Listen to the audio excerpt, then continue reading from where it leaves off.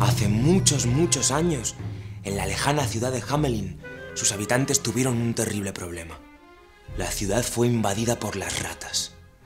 Cientos, miles de sucias y peludas ratas, hambrientas, escurridizas y apestosas.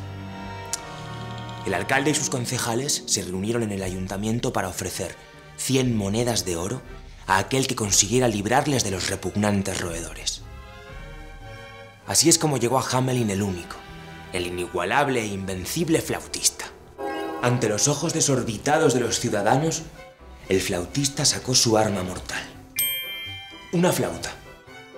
Y comenzó a tocar una extraña melodía que solo las ratas y él podían escuchar. Al instante, los roedores formaron organizadamente, y como un ejército maloliente y peludo les siguieron hasta las aguas del río, donde se hundieron y ahogaron sin remisión. Satisfecho, el flautista volvió al ayuntamiento para recibir sus 100 monedas de oro, pero solo recibió las burlas del alcalde y sus ediles. ¿Crees que te vamos a pagar una fortuna por tocar la flauta? Lárgate de aquí con la música a otra parte. Entonces, el flautista volvió a sacar su flauta mágica y tocando otra melodía secreta, hizo que todos los niños y niñas le siguieran hasta más allá de Hamelin. Mucho más allá y mucho más lejos. Hasta un lugar del que nunca pudieron regresar. Ahora todos temen y recuerdan al flautista.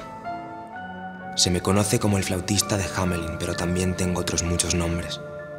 Eso sí, lo que todo el mundo sabe es que siempre, siempre cobro mis deudas. Grimm regresa a los crímenes de tu infancia.